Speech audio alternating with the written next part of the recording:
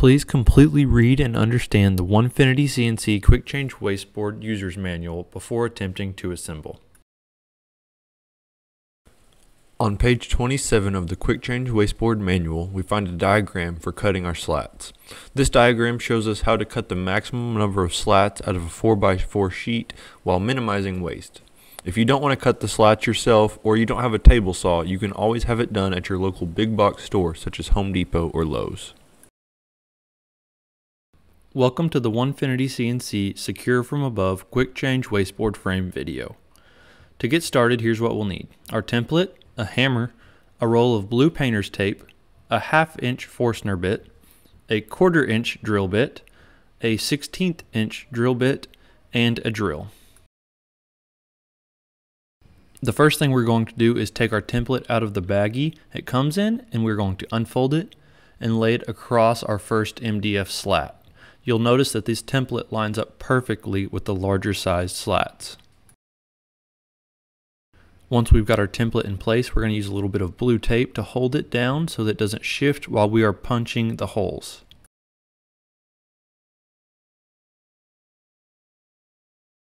With our template in place, we can now take our half inch or 5 eighths Forstner bit and our hammer and using the very tip of the bit, we can line it up with the center of the holes on the template and just punch a small hole to mark where we will drill.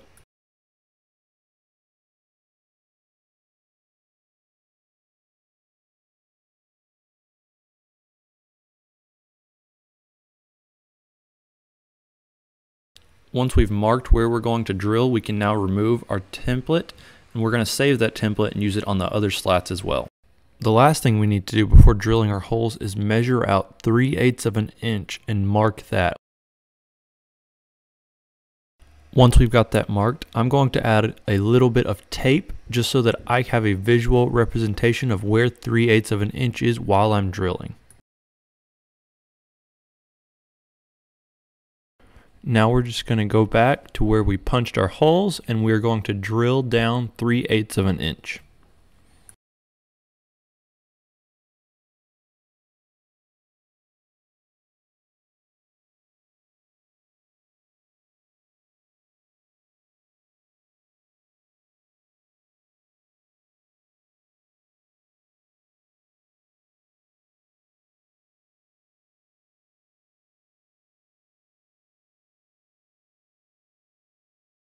Once we've drilled 3 eighths of an inch down with our Forstner bit, we're going to go back with our 1 16th inch bit and we're going to drill all the way through the center of that hole through the MDF. Here you see I'm using some pieces of scrap MDF to elevate the board off of the table, but you could also hang it over the edge as well. Here we're using our 16th inch drill bit and like I said we are going straight through the center of our holes all the way through the board. With our 16th inch holes drilled all the way through our board, we can flip it over and we're going to switch over to a quarter inch bit. With our quarter inch bit in the chuck, we're going to find the back of the holes we drilled through and we're going to expand that hole so we have room for our bolt to fit all the way through.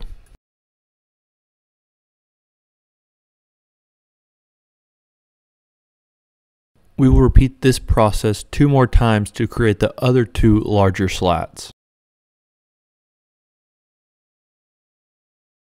Next we'll be drilling our holes into the two widest slats that also happen to be about half the size as the others and only have one row of bolts. Now we'll line up the top edge of our template just like we did with the first slat and we'll use blue tape method again to secure it in place.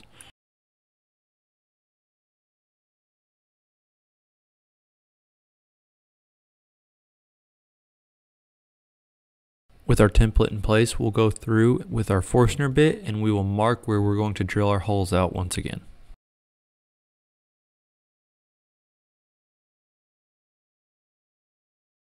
Once again, we have our holes marked, so we're going to remove our template and set it aside for use later.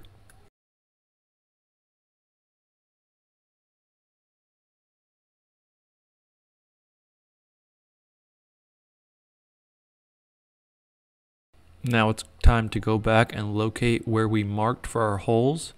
We're going to switch back to our Forstner bit and we're going to drill down 3 eighths of an inch.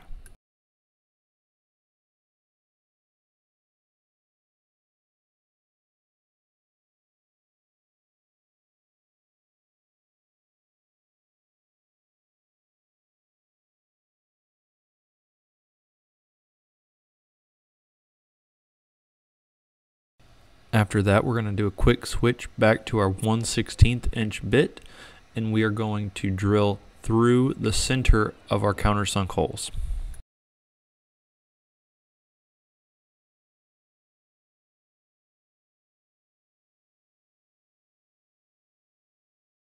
After drilling through with our 16th inch bit, we're going to flip it over, switch back to our quarter inch bit, and we're going to drill the hole for our bolt to pass through the board.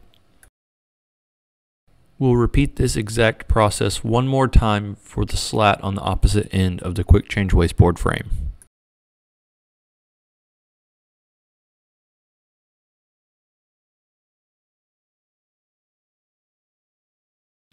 Now that we have our holes drilled in our slats, we can install them to the wasteboard frame. After sliding the slat into place, we'll use the provided bolts and washers to secure the slat to the frame. We're also going to need a 1 8 inch hex key for this part of assembly. Now all that's left for us to do is to secure the slats to the wasteboard frame itself.